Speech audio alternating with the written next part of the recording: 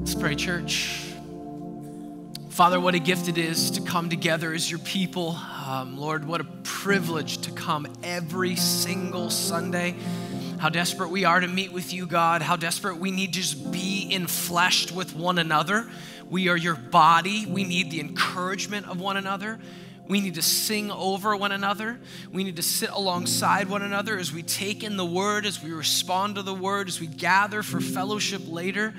This is so life giving to our souls, Lord. And for those who come and they don't quite see that, or those who come and they don't quite fit yet, Lord, would you help immerse them into the body? Would you keep our eyes, those who are here and home at this church, just eyes just looking for people that may still feel that kind of, man, on the outside sort of vibe? Lord, we want to welcome them in, we want to invite them in. We're so grateful for the people, Lord, that you have brought into your house today. And now, God, I pray that um, as the word of God is preached, your word, Lord, establishing your authority over this church, that you would speak to the hearts of those who come today, that you would open the eyes of the spiritually blind, that you would revive the hearts of the spiritually dead that you would, for those of us who are in Christ and spiritually alive, that you would challenge us, that you would encourage us, that you would help us to rightly divide and apply the word of truth. We recognize, Lord, that all that comes by the power of your Holy Spirit, which we would ask, Lord, that He would be pleased to move in our midst, to take the word and make it truly effectual in lives. That it would come in power and in demonstration of His work. We ask for this in Jesus' name. And all God's people said, Amen, amen, amen. Church, I see you leaning. Grab your Bibles. You know what we're doing. And if you're new with us, you're just going to stay standing for the reading of God's word as we come to Luke chapter 6, actually, the end of Luke chapter 6 today. Uh, you're going to see why this is a pretty fitting text coming out of the last weekend. Luke chapter 6, beginning in verse 46, and I'll read to verse 49. This is the word of the Lord for this morning. Why do you call me Lord, Lord, and not do what I tell you? Everyone who comes to me and hears my words and does them, I will show you what he's like. He's like a man building a house who dug deep and laid the foundation on the rock. And when a flood arose, the stream broke against that house and could not shake it because it had been well built.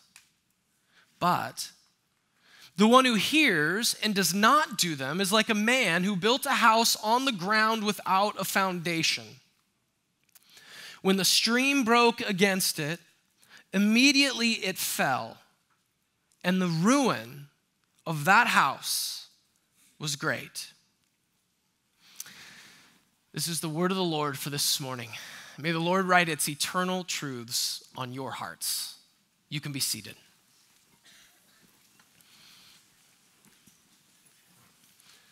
Church, so good to be together. Amen. So good that even after Easter weekend, we gather the next weekend. Isn't that a good thing? I know sometimes it can feel like you come and you're like, man, I just, ex- all my energy went out last weekend, right? And I preach a bunch of times and all my energy goes out last weekend, but I am glad to be back. I am delighted that the Lord gives us this every single week and we need it every single week. Amen? Amen. Let's not forget this, even as we're enjoying kind of maybe the high of what last weekend was for so many of us. Well, my name is Scott. I'm the lead pastor here. It is a joy to have you with us. If you are new, Pastor Chris already said welcome and we'll get you all connected and all that stuff. But I'd love to meet you as well. If you want to do that after the service, I'll be in the lobby. Would love to say hi to you and connect and see if I can help get you plugged in in some way, whatever I can do to make that happen. Uh, in the meantime, Luke chapter 6. We're in the book of Luke. We're doing this series through the whole book called Looking to Jesus. And it's just that every single week we get to look to Jesus. We, get, we need that. We need that on a repetition in our lives. And, uh, and so we're getting that week in and week out. And we come to the end of Luke chapter 6 today. And the title of the message is The Crux of Christian Discipleship. The crux of Christian discipleship.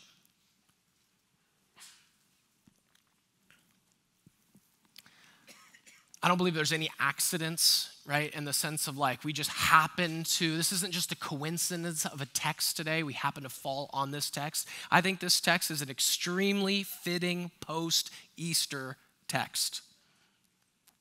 Can you see why? Let me just say something, church, that we should celebrate. Last weekend was the highest attended weekend in our church's history. We have never had more people in our church ever in the history. Isn't that awesome? And we celebrate that, right? We don't have that attitude like, man, I couldn't get a seat. I hope they don't come back next week. We don't say that, right? We don't say that. We don't feel that. I think there are some Christians, though, as the church gets big, it's like, man, it's going to ruin my church. You're going to ruin my church. No, they're not. No, they're not. And we're glad that they hear the gospel, right?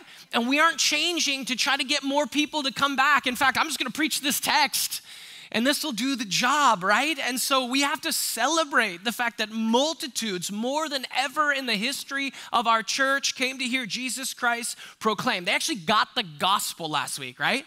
And I trust you guys got fed as well. It's not the same message on repeat that you got as a fourth grader that you never hear anything different. And so you're like, I kind of come to church on Easter because I'm supposed to, but I can't wait for the next week. We don't do that here right? We just jumped into the text, we got after it. The gospel was preached, but hopefully your hearts were encouraged as well. But we have to admit there is this kind of cultural phenomenon around Easter and around Christmas, right? Like we even have names for it, okay? We're not that church though that says these names out loud in a snarky way. But you know what I'm talking about, right? There are names for the crowd that come only on Easter's and Christmas. Do you know some of them? It's like CEOs, right? We don't use those in a snarky way, but we've probably heard Christmas, Easter onlys, right? Or maybe you've heard of creasters. All right, and if you're that, no judgment here. I just simply say out there in the Christian world, there's these terms that are going on. I, I found one this week I thought that was kind of interesting, and I, will be honest, I laughed a little bit. Uh, submarine Christians, because they only surface a few times a year. Yeah. Now, this, is, isn't us. This isn't our Doxa Church. Tell, tell your neighbor, this isn't us. This isn't what we do. This isn't the snark that's coming from us, but there's a recognition that there's kind of a phenomenon around Easter and Christmas. It's when you just get floods of people in the doors. But guess what? There's terms for the people on a regular basis that come to church. You know what that term is? Sunday Christian. Right? You're a Sunday Christian. You act the part, you do the thing one day a week, and the rest of your life you live like, well, we know the word, however you want to live. We have this category, and we're living in a time, maybe more than ever, although it is disappearing, more than ever in the history of the world, is there this category that lives, especially in our culture, and I think it's still alive and well very much in our culture, is this category of nominal Christian which is Christian in name only. Someone who professes, I'm a Christian, I believe Jesus Christ is my Lord and Savior. They'll even say that. They'll profess they're a Christian, but in their practice, they're in no way consistent with anything that looks Christian on a regular basis. Okay, can I just confess to you something? Like, I don't think churches have helped with this. I think in some ways, churches have actually uh, aided this devolving into this nominal Christianity. And I think, I, I want to just say that I think a lot of churches that aid in this mean well. Do you, do you know what I'm saying? Like they want to reach people, but in order to reach the world, they become so much like the world, they end up falling in with the world and are actually no heavenly good for people that need Jesus. But we don't judge them that their heart's not in it. Their heart wants to reach people. They're just reaching people in a way that compromises the gospel into kind of easy believism where it becomes about, man, if we could just get them to accept Jesus, we get them to, we just seal the deal, right? If we can get them to raise their hand, then they're good to go. And even if we don't say that, we often mean that. And here's the thing superficial Christianity is great for stats.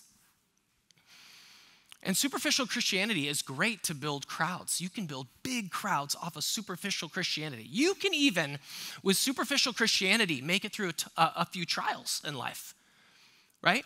You can take a little nugget from chicken soup for the soul kind of Christianity and make it through some trials. Have you done it before? But that kind of Christianity will not make it through the judgment because that's when your faith will be shown for the substance it really has. And that's the point that Jesus is talking about today. So jump with me into Luke 6 for a second. And as we go, go back a few verses because I, I kind of want to show you that Jesus had his own Easter kind of crowds going on. Like the Sermon on the Mount was well attended, right? Look at verse 17. It says that gathered around Jesus were what?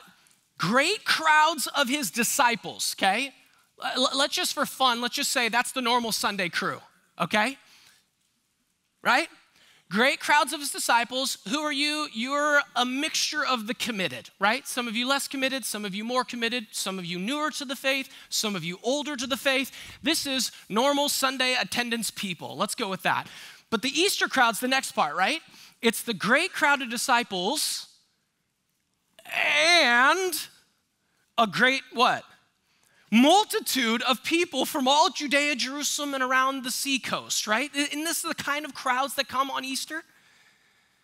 It's the disciples, and then it's all your family, all your friends, right? Everybody you can get to come. You'll even reach out to people from out of state because so and so's getting baptized, and you just get them all here on Easter. Doesn't have that kind of vibe that the Sermon on the Mount has? Now, should we celebrate that so many people heard the Sermon on the Mount from Jesus? Can we be that church that just thanks God for that? Let's celebrate that, absolutely. But Jesus' own sermon ends with this heart searching warning about the danger of professing a Christian faith without a consistent practice of a Christian faith. Guys, and it's such a serious warning that J.C. Ryle, in his commentary, said it like this he said, the open sin people, right? The ones that are just in avowed unbelief. They don't believe in Christianity. They don't claim to be a Christian. They're clear as crystal. He goes, that for sure has slayed its thousands. But listen to this. But profession without practice slays its tens of thousands. He, got, he goes, You got people all over the place. Go, I'm not a Christian. I don't apologize for that. And I'm clear about it. I'm not a Christian. Slays its thousands, right? You'll stand before the living God, right? That's a scary thing. What's, what he's saying is there's going to be far more, surprisingly so, who claim the name of Christ and are among the tens of thousands. So Jesus is going to say there's two types of people those who obey Jesus' words and those who don't. And only one of those is a true disciple of Jesus.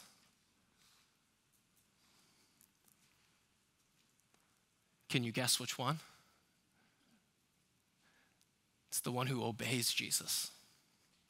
Here's the big idea for this morning the crux of Christian discipleship is obedience.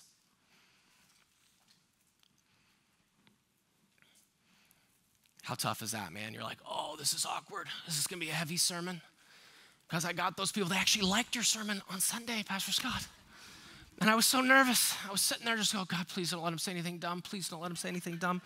Please don't let him say anything dumb. Oh, they, they want to come back. They're here. And what are you doing today?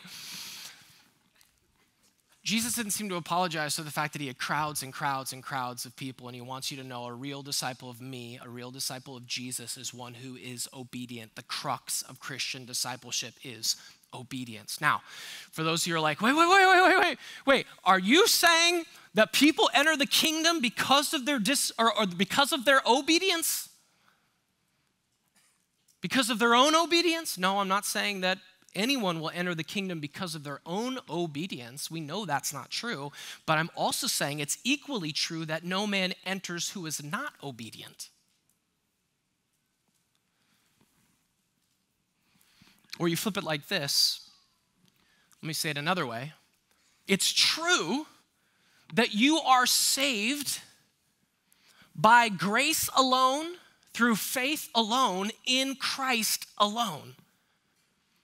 But that faith bears fruit in your life. Because that faith is a living faith, and that life can't help but come out of you in the form of truly joyful, willing, loving obedience to your Savior. Obedience that's not for life, you're not trying to gain it, you obey enough and it turns something on, but obedience as the proof of life that you have in Jesus Christ by grace alone, through faith alone, okay? So that's what I'm meaning. It is the fruit of a faith. Do you have this kind of obedience. So let me start with a point of substance, and then we'll go with two questions, and that's the whole message, okay? A point of substance and two questions. Here's the point. Number one, discipleship implies lordship, and lordship demands obedience. You're like, what does it mean to be a follower of Jesus? It means you're a disciple. What does being a disciple mean? It means you have a new Lord okay? Previously, before you came to Christ, you still had a Lord, but, but go ahead, tell yourself who was Lord. I was Lord. I did things my way. I ran my own little K kingdom, right? You were Lord. When Jesus steps into your life, right? When you receive Jesus by faith, he becomes Lord. Discipleship implies lordship, and because he's Lord, that means there's a new obedience to give to that new Lord. Discipleship implies lordship, and lordship demands obedience. Let me show you this in the text. Verse 46. What a question to end the Sermon on the Mount. Why do you call me Lord, Lord? and not do what I tell you? Could you imagine that Easter service? The suburbs would melt down, right? Any put Jesus in any big church in the suburbs, and I think there'd be like the like hyperventilating. What did he just say? You're steering the crowds away. You're making them not want to come back. How, Jesus, how dare you? You need some public speaking lessons. You need some PR help. Don't you want to build the kingdom? You have the biggest crowds you've seen in your ministry thus far to speak to them, and you're going to speak like this?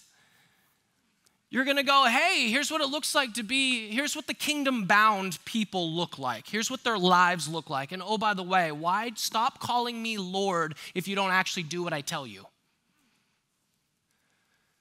I can't even, I would just, oh, so many emails, info at Doxa Church. That pastor that you had on Sunday was so rude. I, what audacity he had. I think we'd melt down.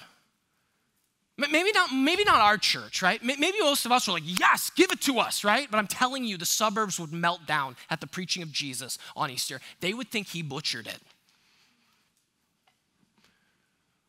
And you'd be apologizing to your friends or trying to explain how it's normally different. So let's not get so comfortable with like suburban Christianity that we don't let Christ just speak for itself. Sometimes for me as a preacher, I'm just thankful to let Christ speak for himself because it gets me out of the rat race of kind of the, I don't know, the cultural vortex of suburbanized Christianity that tries to suck you in. I don't know if anyone else relates to that, but I think it seems to be that one of the things Jesus is saying is that it's easy to say you believe in Jesus. I think a lot of people think my friends are Christian because they say they believe in Jesus. They'll even say Jesus is their Lord and Savior. They'll even say they believe Jesus died on the cross for their sins. Does that make you a disciple? It's certainly true. And it gets confusing. You're like, I, th- I think so. I think so. I think what Jesus is saying here is it's easy to call him Lord, but just to merely call him Lord actually means nothing. I think this throws the crowd for a loop, right? When you, when you think about the crowd, not only as would be assumed, would it be that those who don't confess Jesus as Lord are not true followers? We get that, right? If someone's just going, listen, Jesus is not my Lord, he's not Lord, you're like, all right, not a follower. What I think that throws the crowd for a loop is the fact that he says that there will be some who do say Jesus is Lord who are not true followers. In fact, the other time, one of the other times, Lord, Lord is used is in Matthew 7. Do you remember that text? That text is freaky. Matthew 7, verse 21 says it like this Not everyone who says to me, ready, Lord, Lord, will enter the kingdom of heaven, but the one who does the will of my Father.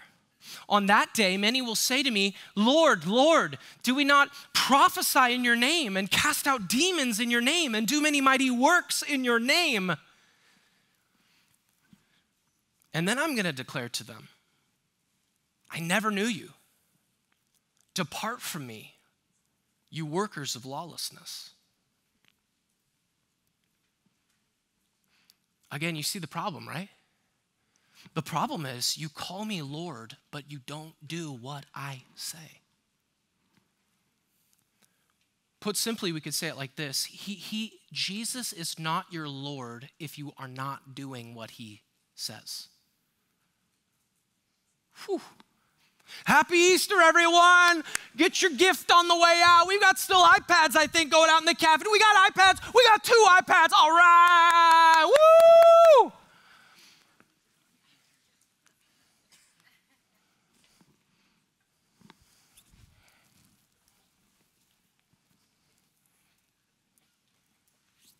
What's crazy about this is like anything less than doing what Jesus tells you is a problem right? So the church has all kinds of people filled with people discussing Jesus and his words. We have people analyzing Jesus and his words. We have people debating Jesus and his words. We have people discussing Jesus and his words. We have people all over the church who admire Jesus and his words. We have people who appreciate Jesus and his words. But the bottom line is, all of that is a problem if you're not ultimately doing Jesus' words if you're not putting into practice the Word of God. Anything less, whether admiring or discussing or praising or debating, all of it is a problem if it doesn't issue forth in doing in your life. Do the Word. I remember this about Promise Keepers. One of the first events, you know, I didn't grow up in a, my mom was Christian, my dad wasn't. You guys know the story, I think, for the most part got invited by some friends, and first of all, totally embarrassed by Christianity. Utterly, completely embarrassed. These guys, Promise Keepers, wow, it was lame. It was so lame. I'm just gonna say it. Maybe that's why it stopped. I'm not sure. The idea was good, okay? Godly men being raised up. Yes and amen. But oh my goodness, there was a Christian culture that was super hardcore cringe to a junior high kid trying to be cool. All right? But one of the things I felt was just this utter fakeness that came out of people who schmoozed up a storm during the conference and I knew went back and lived a shady life on the, on the day to day. And I had a problem with that. I'd rather not brag about it on a Sunday and go home and actually live for Jesus, right? Did anyone feel that self righteous anger at some point in their life? I mean, I remember that as a 14 year old boy. I remember just looking and going, man, you're putting on such a show right now. You don't live like this at home. I've seen the way you act, I've seen the things you do. And I was 14 years old witnessing that. I'd rather just be quiet and go about my business or think about the camps they used to go to as a kid, right? Every kid got saved times a billion when they went there, man. They'd build that huge bonfire and they're like, speaking of hell, and then they show you this thing and it's like flames 35 feet in the air. Every kid raises their hand. By the last night, they're just shooting up in worship like this. I mean, they're so excited and they go home and they live the same tragic life that they had lived before. Anything less than doing Jesus' words is a problem. It's really this issue of we have a lot of fans around Jesus, but he's concerned about the followers of Jesus. James 1 even said, You're going to have this in your midst. Expect this idea that you're going to have people who deceive themselves. In what way? They're going to deceive themselves because they're going to come and act and be around the Christian church. They're going to seem Christian, and that, yet they're going to deceive themselves because they're going to be hearers of the word only and not doers of the word. They may, may, even leverage Jesus. This is where it gets tough in our day because I think Jesus is kind of added on as another like life coach. So it could be like, man, yeah, I'm Christian. I listen to Jesus' words all the time. But what you really do is you have this kind of way of living. I'll call it an enlightened self interest. Okay? And so what you do is you'll, you'll pull from this and you'll pull from that. Man, I heard a great talk, a TED talk, and so I pulled from that. And you know what? I read a little Jesus today. I'm going to throw that in my back pocket. I like when Jesus said, Love your enemies. That's good. It's going to help at work. And you just kind of boop. So I'm Christian as well. Listen to Jesus' words too. Now, you probably don't listen to all of Jesus' words in that context, right? You're probably picking and choosing and all that stuff, and that's what we do. And, and so it can come off like you're Christian because you have some, like, what can Jesus do for me sort of mentality. You're still Lord, but if Jesus helps you be a better Lord, then awesome. Versus the kind of life that says, Jesus is Lord, and my entire life is lived in obedience to Him. It's different. Both can masquerade or both can, can show, but only one is the true substance. And the question is, which life are you living? All right, which, which life are you living? You have Jesus on the Mount as the new Moses, giving new revelation. And just as with the old covenant revelation given by Moses, it issues and ends with covenantal warnings, which Jesus is giving right now. He gives this warning in the form of a story because stories embed themselves into our hearts and minds in this way. And he gives this picture, okay? Two men, two houses. One withstands the flood, one crumbles in ruins. From the outside, there may not even be much way to even see a difference in external appearance between one house and another. In other words, think about the idea that they both seem to be Christian, and here, here would be my category for that. From the outside, you look at two people and you go, man, they definitely seem to be a Christian, and then you find out 10 years later they deconstruct their faith and walk away altogether, and you're shocked, right? But isn't that just as surprising as the person you could have sworn was a Christian and then gets saved 10 years later and baptized when you thought they already had been and everything was already there? They can look the same on the outside, but something is different, and only the flood reveals the difference in the quality of the foundation. Let's talk about which one you are. Two questions, two illustrations, two pieces to a story. Is your life the house built on the rock?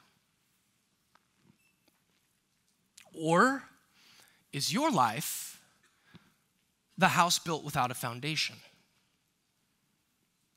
Okay? Now, just in case this gets confusing, you definitely want to be the first one. Okay? I don't know. Sometimes I get confusing. It's hard to follow me. I get a little amped, say a lot of words without taking a breath. Okay? And that may lead you to be confused. I want you to go, I, I need to be in category, this first one, okay? I know it's point two. Uh oh, oh my goodness, it's gonna get confusing. You want the house built on the rock. Let's read it, verse 47. Everyone who comes to me and hears my words and does them, I will show you what he's like. He's like a man building a house who dug deep and laid the foundation on the rock. And when a flood arose, the stream broke out against the house and could not shake it because it had been well built. This is the one you want.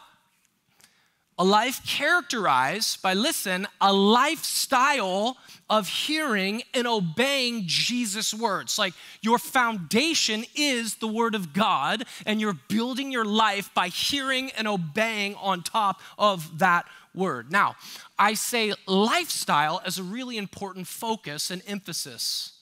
A lifestyle. Because Jesus is implying a lifestyle here. And you pick that up by his use of the present tense verbs comes, hears, and what's the last one? Does. Each one of those is in the present tense, and in the Greek, that speaks to a consistent, habitual, ongoing pattern of life. You could, sp- you could add that habitual, consistent, ongoing to every one of those, right? Everyone who habitually, consistently, and in an ongoing way comes to me, who habitually, consistently, and in an ongoing way hears, and habitually, consistently, in an ongoing way does my word. He's like this, right? Not perfectly, but patterned in this direction. We're going to talk about that for the person that's just like, lacking assurance of faith, right? You can fear, man, I'm, I'm not this. I, just, I disobeyed Jesus this week. I, I'm not talking about never disobeying Jesus. Sadly, sadly, well, the difference with a Christian and a non Christian is that when a Christian disobeys Jesus, which they will, it breaks their heart. It's, the difference isn't the Christian obeys all the time and the non Christian doesn't. No, the Christian can be just as big of a hypocrite, sadly at times, but it breaks their heart because they love the God who loves and saved them. Very different. But there's a depth here you can see, right? They dig deep. They don't settle for surface, they get the foundation deep. And I think of just even the way how, how you should start your faith. Well, apparently, it starts with, you know, having this pattern of coming to Jesus, right? It starts with coming. He who comes. And one of the things about coming to Jesus is you have to leave something in order to come to Jesus. And I think this is a, a, problem because a lot of times the way Christianity is sold is just however you are, wherever you are, bring it all with you and you come to Jesus. And there's truth to that, right? You, you do come just as you are to Jesus and you won't remain the same. That is true. But the idea is that if you're going to come after Jesus, it doesn't mean you can just fit Jesus in as an accessory in your life. That's what I'm talking about. Just add him into everything else going on. You still have your life, but you keep him like in the passenger seat, if you will. You're still driving, right? The question is have you left your old way of life? Or maybe better to ask for you, Christian, do you keep leaving your old way of life? Because to keep coming to Jesus is to keep leaving where you are apart from Jesus? In leaving your old way of life, have you believed yourself to be who Jesus says you are, even in the Sermon on the Mount? Do you come back to this? Do you understand that your poverty in spirit? Do you see your sin for what it is before a holy God? And do you see that what you bring to the table is nothing more than a beggar has at best? You bring the sin that makes salvation necessary. That is your sole contribution. And do you long for righteousness, knowing you lack it? Do you see and hunger and thirst? And does it grieve you that both you are a sinner and you lack the righteousness that you need, that you want to emulate and you want to embody and you want to exemplify? But that grieving about the sin that you have and the lack of righteousness takes you to the point of entrusting yourself to God for mercy through Jesus Christ. You have entrusted yourself, you have cast your entire life upon the life, death, and resurrection of Jesus. That life for me, lived for me. That death died for me. I should have died that death. That resurrection purchased my new life, affirms new life in Christ for all those who trust in Him. That's my life and trusting yourself there. It starts there. Keep coming and keep leaving the old. That's first level obedience, right? Repent and believe the gospel. And then from there issues forth a lifestyle from that saving faith of loving obedience to God. Hungry to dig deeper, hungry to grow in depth of the grasp of the gospel that you have, in depth of the grasp of the word of God unto obedience in your life. That's your deepest desire. Now, the dug deep thing is a big deal, right? Because it's something that doesn't show up in the second guy, but does in the first. He digs this deep foundation. Here's the thing with deep. I think here's the major thing with deep that separates the two. We could talk a lot about components of this, but, but the issue is deep costs more. Deep's harder. You ever dug a big hole? Like some of you dads, that's when you're like, I'm not a kid anymore. right? Every vacation, your kids were like, so much energy. They're like excited. They're doing the doggy thing like this. And you're like, no way on God's green earth. If I do that, I stay stuck there in this position. Like I do not get up. Right? Unless you have a massive shovel, not one of those plastic ones either. You know what I'm talking about? You go and you're like, oh, we didn't bring a shovel. And so you go to Kmart. I don't even know if they have Kmarts anymore. They did in Tahoe back in the day. And you'd go and you'd get the Kmart shovel and you'd get one solid scoop and it would snap. And then you're stuck going like this, right? And it's so much work to build a deep hole. But have you ever thought about those things in life that, like, there's certain purchases you'll even make? I don't know if you found these like categories. I found them in my life where it's like, um, I'm willing to spend extra money up front to save me some pain later on. Right? Like, let, let, me just give you a category. I know we don't walk in this here, but good winter clothing in a cold place. Okay? I'll give you one more specific to my life a good mattress. Why would you hate yourself and buy such a sucky mattress? I don't get it. You spend so much of your time in bed. Annie up, you cheap husband, up front, and not have to pay the penalty later by severe back pain as your bed is indented like this. You're like, it's part of it, you know? You're like, no, that's not how it's supposed to work. It's supposed to be flat. No, I love it. Yeah, and you can't get out of bed either right?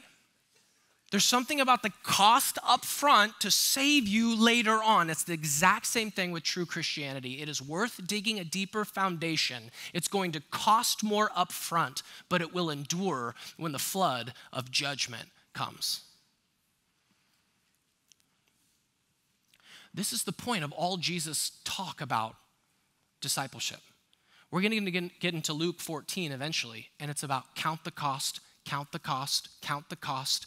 Discipleship is a count the cost kind of thing. You give up your life, you lay it down. Friends, buy the good mattress, buy it to the glory of God, right? Don't settle for superficial Christianity.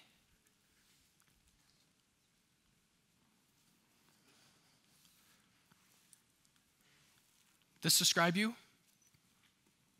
Are you this house? Is this your life built on the rock?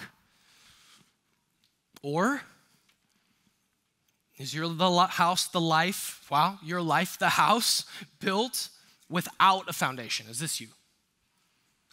And sadly, I think there are, there are many of these. Verse 49.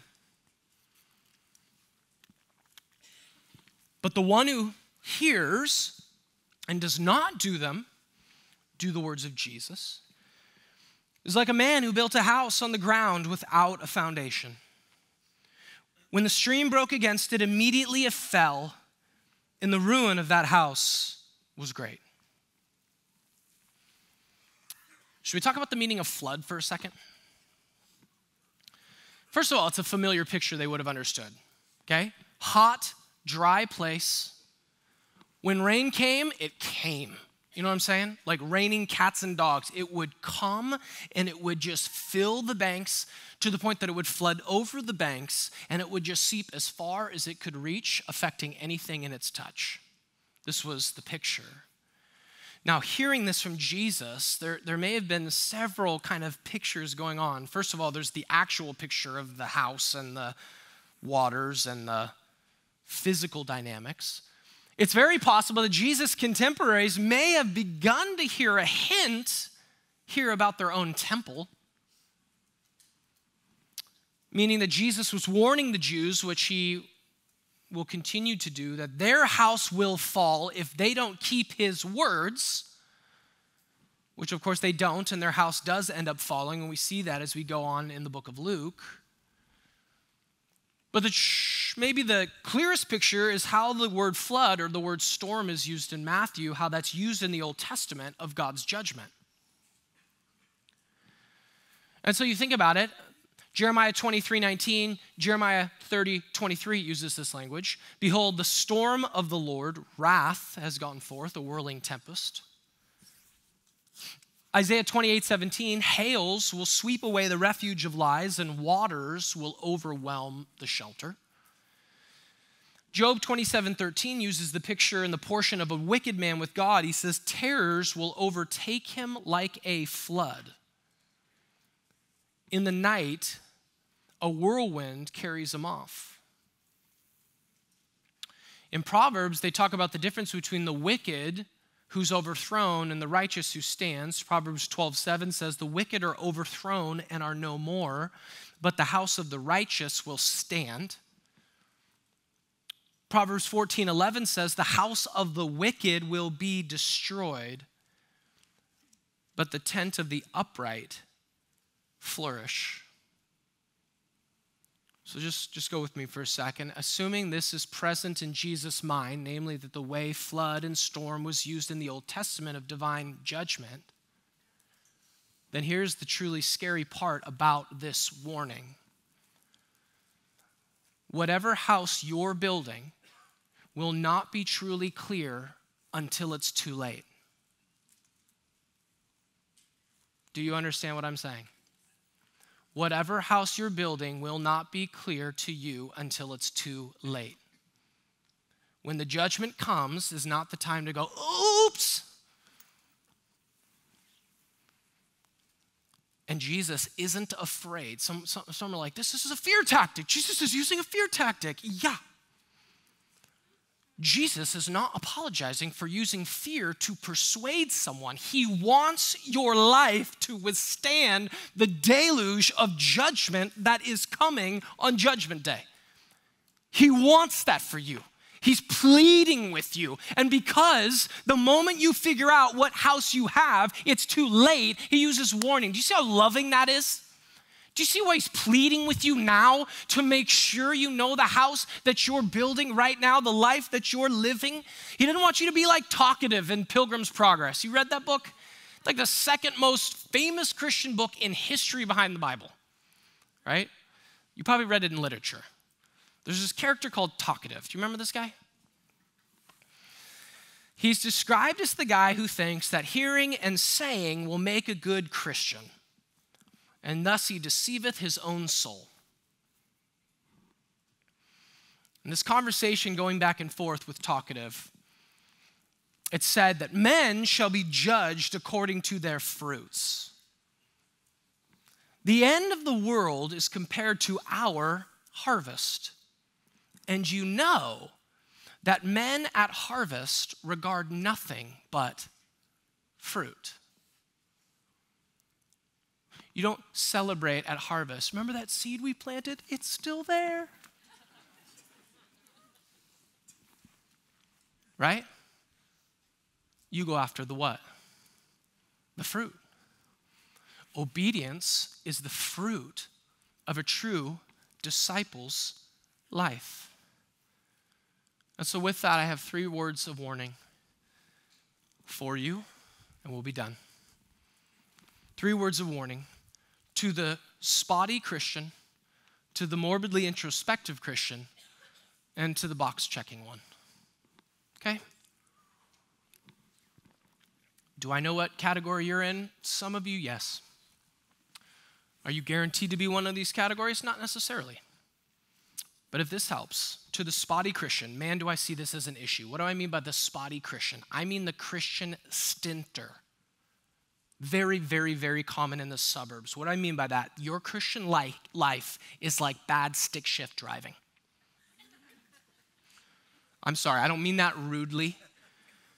I know that's offensive. You're going to have to probably explain to your friend, he didn't really mean to be offensive. No, I mean exactly what I'm saying actually right now. I thought about this illustration all week. Your Christian life is like bad stick shift driving, right? Just jolted forward. We're in, we're out. We're in, we're out. We go to church all week, every week of the month, and we will see you in six months after that. We are in, we are out, we are in. We serve and we don't serve. We burn out and we come back. Stalls and fits and jolts and starts and marginally committed to Jesus. This is this is a lot of people. Fitting him in and around the activities of your life. This is a lot of people. Jesus is in your life. You're like, He's in my life. He's in my life. You're fitting Him in and around your lifestyle and the activities of your life. Just look at your life. Is it consistent? Do you even come to church consistently, right? Is that the be all end all? Coming to church makes you Christian. Not coming to church is a serious problem, for the record. Does it make you a Christian? No, it shows that you are, though. Here's my question Does your life scream Jesus as Lord or Jesus as accessory? That's the question. You have to figure that out. Your lifestyle reveals a lot about who's Lord in your life. And I think the majority of these of our of the people, at least that are around this greater area of the suburbs, I'll be like broad. This is the biggest category of problem. Second category, to the morbidly introspective. This is the soft-hearted, lacking assurance believer. Much softer word, much different word here. This is to the sweet saint who cares so much about wanting to honor the Lord, but you struggle to see past the holes in your holiness. That relate? So, what happens is because you're so aware, you're like, man, all I want to do is be obedient to Jesus, and all I see are the ways that I'm not. All I see are the ways that I'm not. And so, what can happen is you can get stuck in what I call a guilt ridden cycle of conscience assuaging obedience. You feel so bad about being disobedient that you obey just to get the feeling of guilt off of you. And once you get that going again, the problem is, though, what happens is you, you can't perfectly obey the Lord. So then you are disobedient again. And then you get into this discouragement. And then you know that the only thing that kind of makes you feel better is when you start obeying again and it kind of assuages the guilt on your conscience. And so you just get in this cycle of begrudging obedience. And what can happen eventually is you just re- repulse the Lord altogether. You don't want anything to do with that God where you just feel so stuck. You're like, I can't do it. And I'm trying to earn my obedience through this way to get the guilt out of me, Lord. And he's like, You just said it. You got to go back to the gospel. You, you got to go back to Christ's love in you, then it's love out of you. You don't, you don't, you have your conscience cleansed. You have your guilt taken away. Th- this is what Jesus does. And you live from that confidence. And so, for you loved ones, go back to the gospel, go back to the good news, get the love of Christ for you in, apart from anything you've done. And out of the overflow of that love, let it motivate you forward. Because begrudging obedience speaks volumes about your Lord as well. And then finally, this to the box checking Christian. This is maybe the most deceiving house because it looks Christian. But have you ever met the kind of person who's just more naturally obedient than someone else? Did you have one of these kids? One was just more obedient. They just toed the line better. Does that mean their heart is in the right place? It means as a parent, you feel dang good about yourself. You're like, he's killing it, right? I have this own dynamic as a pastor with my pastor's kids, right? They're all PKs. Man, one of them just can toe the line, can toe the line so well. The question is, what's driving your obedience? To the box checking Christian, is it a hunger and thirst for righteousness? Is it a love for God to make what's true positionally of you in Christ true practically in your life? Do you see it connected to the gospel? Do you see wanting it to come full circle?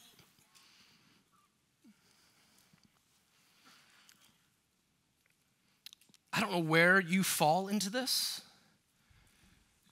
but my heart is that the Lord would challenge you, open your eyes to see where you can grow and we can walk in this together, upholding one another's arms as we pr- pursue a discipleship that truly costs something for the glory of God. Let's pray. Father, thank you for this morning. Thank you for the gift of your word. Lord, we need this. We need your truth to permeate our lives. We need you to examine our hearts even why we obey, Lord. We need you to get some of us back to the gospel, reminded of our love, excuse me, your love you had for us. We love because you first loved us. And Father, I pray that you would open the eyes of those who are walking in a kind of quasi Christianity, calling them Lord, but not doing what you say. Father, bring a conviction that leads to a leaving of their old life and a coming to you and a living of a life of discipleship that is costly, knowing that you bore the ultimate cost for us. And out of the overflow of that grace, we live for you, God, gladly, willingly, and out of love. Only you can do that, Lord. Only you can open eyes. I pray that you would. In Jesus' name, amen. Amen.